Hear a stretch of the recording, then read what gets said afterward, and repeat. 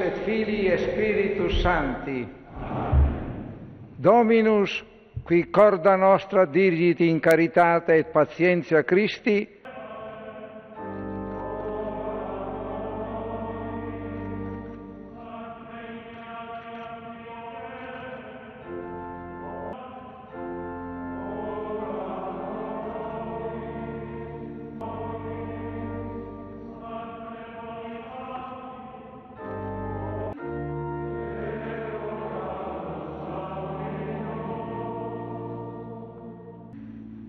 et ego Tacitus Cardinalis Bertone sponde obove oculo, sic me Deus adiuvet.